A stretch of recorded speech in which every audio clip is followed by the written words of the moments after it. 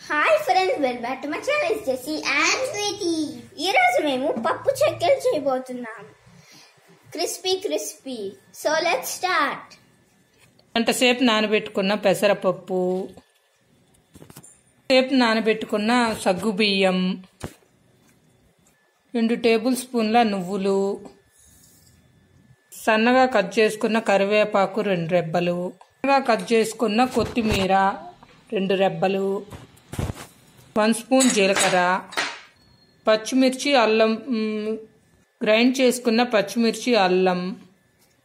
నేను చెక్కల్లోకి డాల్డా వేసుకుంటున్నాను. చెక్క మీకు ఆప్షన్గా నెయ్యి కానీ బటర్ కానీ వేసుకోవచ్చు. డాల్డా రెండు స్పూన్లు నేను రుచికి తగినంత సాల్ట్ గోరువెచ్చ గోరువెచ్చగా కాబెట్టుకున్న వేడి నీళ్ళు కలు వేసుకొని కలుపుకుంటూ పిండిని గట్టిగా కలుపుకోవాలి. పిండిని ఇలా కలుపుకున్న తర్వాత చిన్న చిన్న బాల్స్గా పాలిథిన్ కార్డు పెట్టుకొని నూనె అప్లై చేసుకోవాలి. అప్పుడు పిండి బాల్స్ పెట్టుకొని ప్రెస్ చేస్తే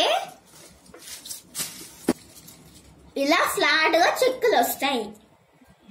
లో ఫ్లేమ్లో పెట్టుకొని చెక్కలను కాల్చుకోవాలి. లేకపోతే చెక్కల లోపల పిండి ఉడకదు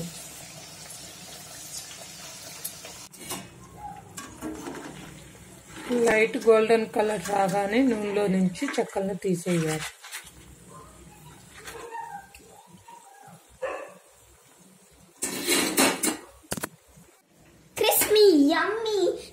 Wow, delicious, tasty. Chuckle ready.